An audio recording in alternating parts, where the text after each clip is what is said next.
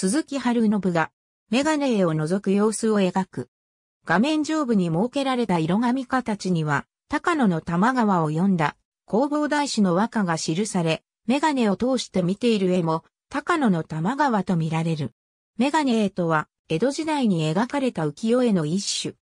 45度傾けた鏡に映した絵をレンズを通して覗いてみる風景画の一種で、それにより原画は絵や文字が左右反対に描かれている。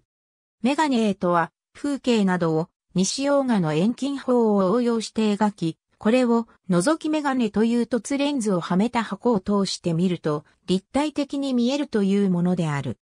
寛延3年頃、中国から移入された極端な落ちこちがついた風景画は日本でも法暦9年か法暦10年頃から主に京都で制作された。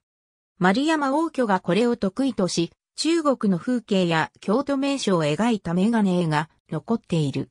王居は修行時代に尾張や中島官兵衛という幹部省に勤めていたことがあったが、オランダから輸入されていたメガネ絵を見て、自ら京都の風景を描いたメガネ絵数点を描いた。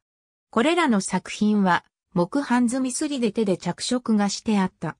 それには画面に小さな穴を開けて、薄紙を貼って裏から光を当てるという工夫が見られ、遠近を深く感じることができた。